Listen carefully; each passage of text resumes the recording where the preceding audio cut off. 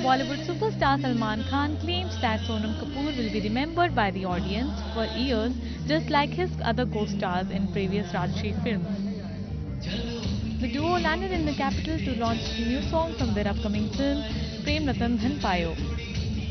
While interacting with media, the 49-year-old actor interrupted Sonam when she was talking about her experience of working with Salman in the movie. और ये मेरी अरे ये मेरे career का सबसे एक्शन मेरी करियर का सबसे बड़ी फ़िल्म है।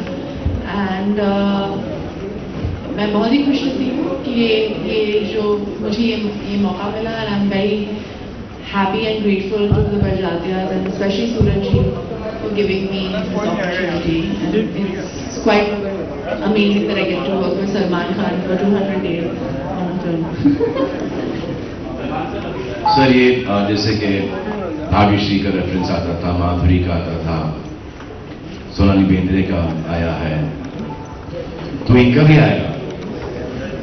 नेक्स्ट वाली फ़िल्म के अंदर जब हम प्रमोट करने जाएँगे सूरज और मैं या मैं अकेले विद माय और ये उनकी शादी हो चुकी होगी जैसे कि भाग- भाग्यश्री की माधुरी की सोनाली बेंद्रे की बच्चे अच्छे होंगे। तो ये कुछ में आ जाएँगी बहुत जल्द।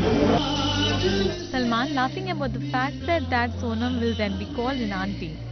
The duo released Aaj Unse Milna Hai song from their film Prem Ratan Dhan Payo.